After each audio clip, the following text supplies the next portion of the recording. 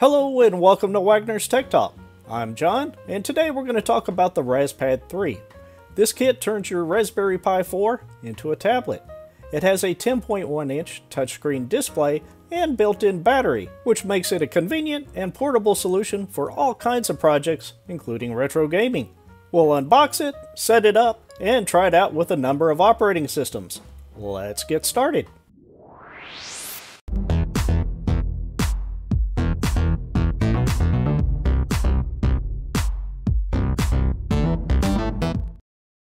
Let's briefly talk about the features of the RasPad 3. It has a 10.1 inch touchscreen at 1280 by 800 pixels. The display can be set to extend, mirror, and of course it can rotate from landscape to portrait mode automatically. It has a built-in battery which they state will last up to 5 hours, most likely depending on the amount of I.O. operations and display brightness. It does have built-in speakers, slots for the GPIO and camera, there are three USB 3.0 ports, a full-size HDMI port, and easy access to the microSD, the audio, and Ethernet ports. I'm really interested in checking out the RasPad 3. SunFounder had contacted me some time ago asking if I would be interested in reviewing this product. After checking out their website, I was definitely intrigued with the product and agreed to review it. Keep in mind, all opinions are my own, and I will provide you with my honest feedback about what I like and what I dislike about this device. I will say the included documentation is a little bit weak in that it only provides a simple flyer that shows you how to assemble the unit. It was at that point I checked out their website in more detail, and yeah, I mean, it's got a treasure trove of information that'll help you really make good use out of this machine. And we'll be going over some of that information in this video as well. Let's go ahead and get it out of the box. There's the RasPad 3. We'll just set it off to the side and see what all's in the box. We've got, uh, looks like the power brick, and it's using a barrel connector at 15 volts, 2 amps, 30 watts. And here's the power cable for the brick. And this was pretty nice. It, included a screwdriver, which has a flat head as well as a Phillips head, and it's magnetic too, and has the RasPad logo there. These two pieces are for the SD card and the screen rotation. We'll look at that in a moment. Of course, the fan for keeping your Raspberry Pi 4 cool, and they included the heat sinks, which is very nice. All the cables to plug in the Pi are here, your USB-C to USB-C cable, a micro HDMI to micro HDMI, and you actually have two of them. One's longer than the other. And you also have this RJ45 Ethernet cable extension. Additionally, you get this USB 3.0 male-to-male cable. And don't worry, I'll show you how to hook all this stuff up. It's very easy. Let's go ahead and take the RasPad 3 out of the package. On the left-hand side, you have your LED battery indicator, the brightness and volume controls, as well as your power button, and of course, a micro SD slot, which is easily accessible. On the bottom, there are four ventilation slots, and on the back, you have a location where the GPIO cable can be fed through, which is a very nice touch. You will, of course, also need to pick up the Raspberry Pi 4 separately. It is not included in the package. We'll take a quick look at the ports here. You have your USB ports, 2.0 and 3.0, your Ethernet jack. This is uh, your GPIO header pins, the display port, the camera port, and if we turn it over here, you can see the USB-C input for your power, two micro HDMI ports, your AV jack, and the slot for the micro SD card. Now, let's put it together.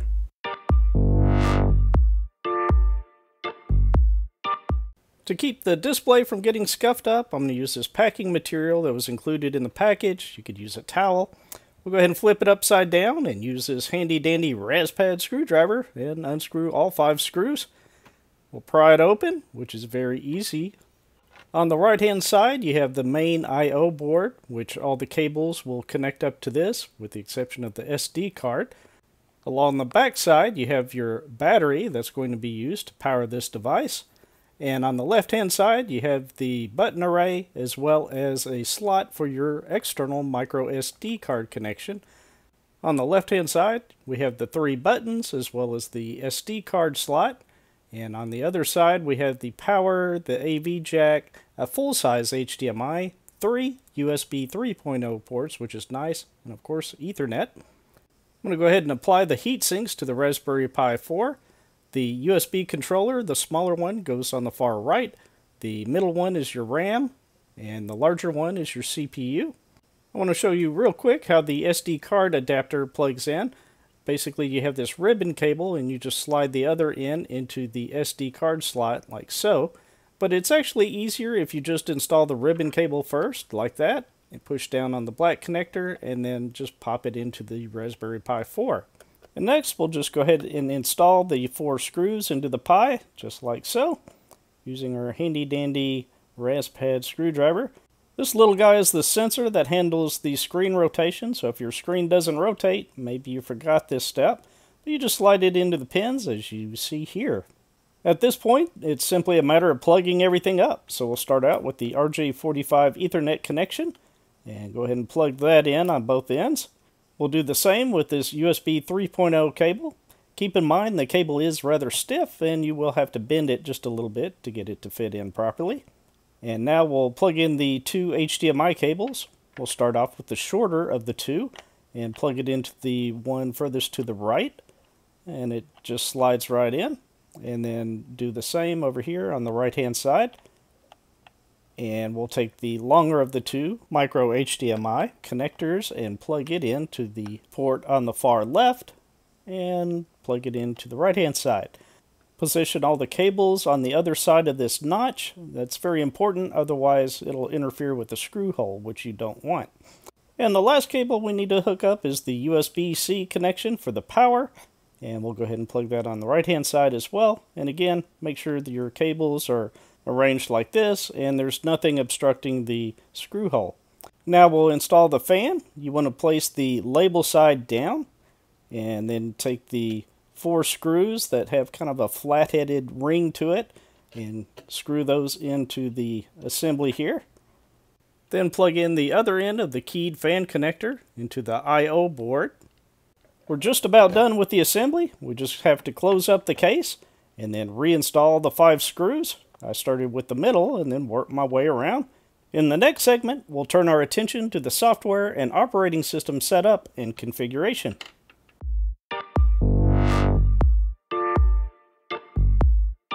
SunFounder includes a pre-made image of Raspad, which we're going to install to a microSD. But first, I'm going to show you how to get the Raspberry Pi Imager. Go to raspberrypi.com forward slash software to download the Raspberry Pi Imager. There are a number of operating systems you can use it with, for example, Windows, Mac OS, Ubuntu, and of course the Raspberry Pi itself. In this example, I'm going to download and install the Windows version. Then head on over to raspad.com, pages raspad-os, and download the Raspad image. It's about 6.6 gigabytes, so give it a little bit of time. Once downloaded, I'm going to go ahead and right click the file and go ahead and extract it using 7-zip. Although you don't necessarily have to do this, the Raspberry Pi Imager will allow you to simply select the zip file. With the image extracted, we'll load up Raspberry Pi Imager and click Choose OS. There are a number of operating systems you can select and install to your micro SD card, including Raspberry Pi OS, and the Imager will both download and install the image to your micro SD card. However, in this case, we want to write the image that we just downloaded. For that, we'll move down to Use Custom and select our image and click Open. Then we'll choose our micro SD card, which in this case is a 128 gigabyte micro SD, and then simply click the Write button to write the image. It'll ask us if we're sure, we'll click Yes, and the image will be installed. Once it's written, just click the Continue button and close out of Raspberry Pi Imager. Now that we have Raspad OS written to our micro SD, we'll pop it into the Raspad itself, just like so. I'm going to go ahead and remove the screen cover, then press and hold the power button until you see the LEDs turn on. It takes about 8 seconds or so. At this point, the operating system will begin to boot, and you'll have a pre-set up image with many of the features the Raspad provides. For example, you can easily rotate the screen, and the display will adjust automatically. If you didn't install the GPIO cable through the slot there, you can also use it as a stand. I've heard some mention that the fan is too loud, but I didn't encounter that as an issue.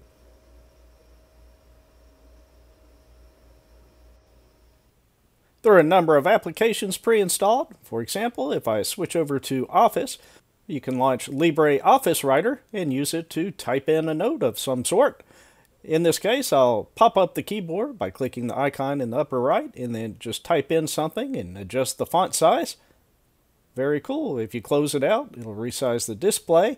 So yeah, that's pretty cool. I've loaded Chromium, the web browser, and went to wagnerstechtalk.com, and yeah, it browses just fine. I also downloaded a number of MagPi magazines, which I highly recommend if you've never seen it. Lots of great information and project ideas spanning all the Raspberry Pi models. Another thing you can do, of course, is to pinch and zoom, and that works very well.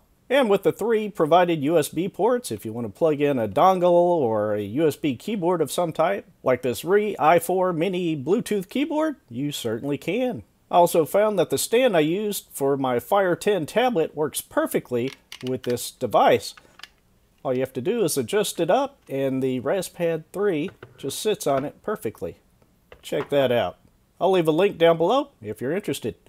All the applications seemed to work very well, and the touchscreen was very responsive. Even with this calculator and the very small buttons, I didn't have any problem entering the numbers. If you enjoy tinkering with electronics, you can easily add a GPIO cable and breadboard. Then, using Scratch, Python, or your favorite programming language, you can do some amazing things.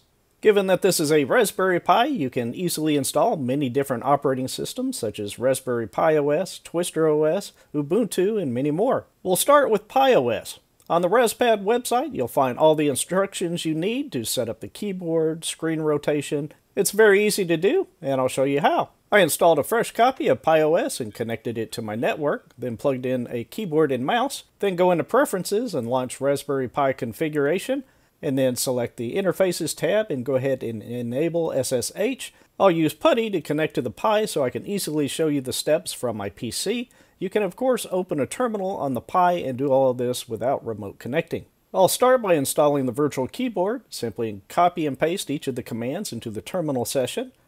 Now we'll do the same for the right click on the Raspad. Again, just copy and paste each of the commands into the terminal Towards the end, you will need to modify the rc.local file and add a single line. So I'm just going to paste that in right here. Then press Control X to save, Y to yes, and Enter to save the file. Now I'll type in sudo reboot and go ahead and reboot the Raspberry Pi. And the last piece we'll install is the screen rotation service. So again, we'll just log in as we did previously, and then just copy each of the commands and run them inside this terminal session. Once done, press Y and the machine will reboot. Now we'll move back to the Raspberry Pi and go to Preferences and Onboard Settings. Here you can customize the look and operation of the keyboard. There are also options for adjusting the transparency. It is very configurable, so definitely spend some time exploring the settings. As an example, let's go back into LibreOffice Writer and you'll see the keyboard popping up. Notice it did so automatically. I didn't have to do anything special. After you're done typing into a text field, address bar, etc., you can configure the keyboard to auto-hide, which makes this a very nice user experience. Of course, we need to make sure the screen rotation service is working properly, and yes it is. Now let's flip it back horizontal, and there we go. I already went through the setup steps for Twister OS, which happens to be my personal favorite OS for the Raspberry Pi. Here I'll load up PhotoGIMP and we'll see how responsive the touchscreen is for drawing on the screen.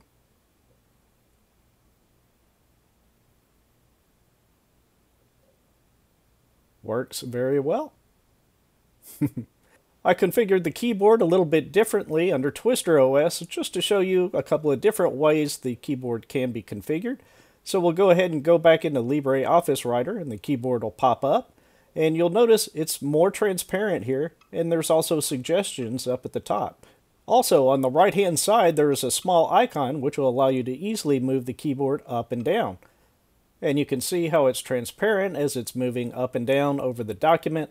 Twister OS also has RetroPie pre-installed, so let's check it out with a few games. Here's one I used to sink a lot of quarters into when I was a youngster. That's Galaxian.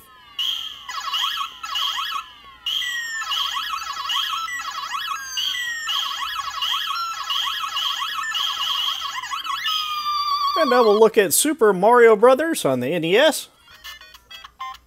Plays great.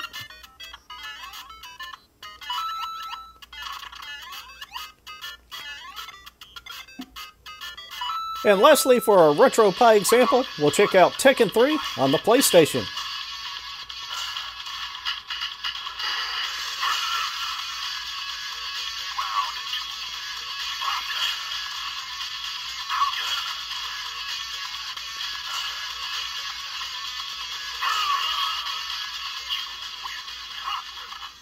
You can also install the screen rotation service in Ubuntu, and while it works, it's not as responsive as it is in PiOS and TwisterOS. Now let's take a quick look at other ways you can use the RasPad 3.